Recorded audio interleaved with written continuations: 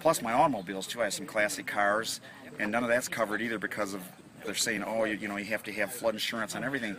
Well, I asked my representative, my agent at, at I'm, I don't like to say names, but I'm, I'm not in good hands, okay?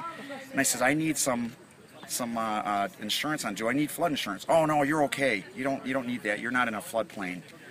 Well, you know, and then they had the nerve to actually send me a letter two days ago saying that oh we can't renew your policy because you have a wavy roof on your house. You know, this is just one insult after another to add it to the injury. And you know, when this happens and then you and then you're, you're totally helpless. I mean, what are you going to do? And I have to make a house payment on my house that's destroyed. They're not going to say, well, sorry, we'll let you go this month, you know, because your house is ruined.